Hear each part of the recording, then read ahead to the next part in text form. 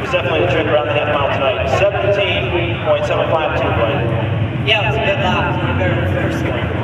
You picked it up and uh, set fast time for the second time this season. Congratulations. Thank you. We got a $100 bonus crystal coming in here from Fast Tees. Fast Tees Fast Time Award in memory of Jim Mace.